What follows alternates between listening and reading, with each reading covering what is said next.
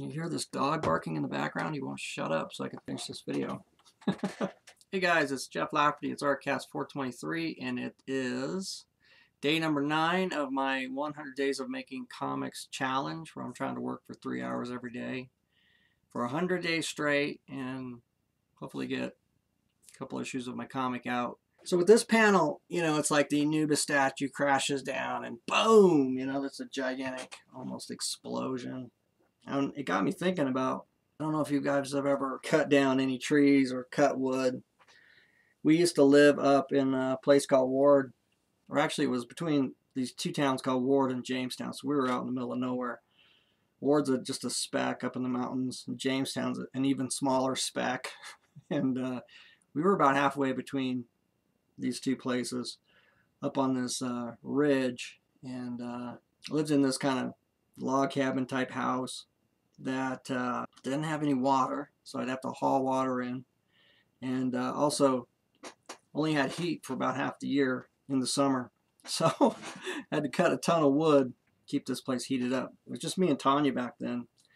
But it was really, you know, it was kind of a fun place to live. I mean, it was sort of an adventure, but it was like a lot of work, you know, keeping that place going. And uh, the drive was hard, you know, driving back and forth to town, uh, down those twisty mountain roads. And, you know, the winters were were just crazy. You know, like this time of year, we're like May. You know, there's no snow down here at all.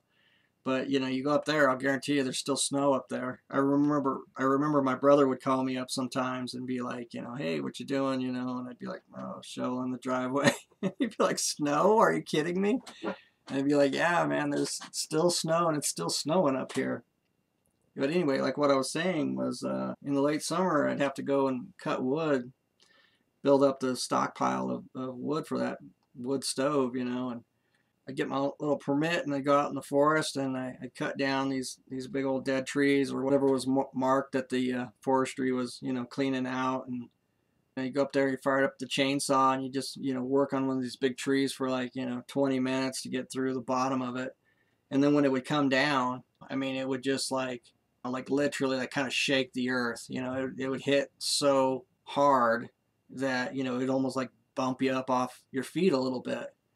And uh, you know it's just something like you don't feel in like normal life. You don't you don't feel something so massive as like a whole tree come down and you know collide with the the ground you know the earth. It's a pretty wild experience. I mean everybody should feel something like that at some point. But anyway that's the kind of you know effect i was trying to get into this particular panel.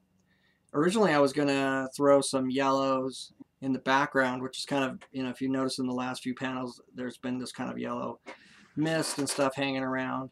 But then I thought, you know, like since it's a stone statue and it's hitting like a, you know, a marble floor or something, the whole thing should just be like a gray mass. Like, you know, it's it's almost like disintegrating when it's hitting the ground. So I wanted like the whole panel to basically be gray, the highlight or the hot spot of the, the panel to be whites you know, which is not super intense on top of this gray blue color I have.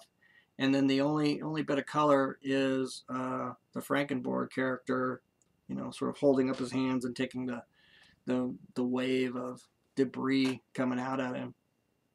So that's kind of the thought process behind that. Um, what else? Uh, check out Patreon if you are into supporting the channel or supporting uh, my videos or whatever you like about watching these things. It's helps me to make money. If you want to do that, the link's in the description. My mailing list is also in the description. That's like a great way to keep up with my videos. Um, every time I put a video up, I send out a notification, and you never miss a video that way. So, day nine is in the can. See you guys tomorrow.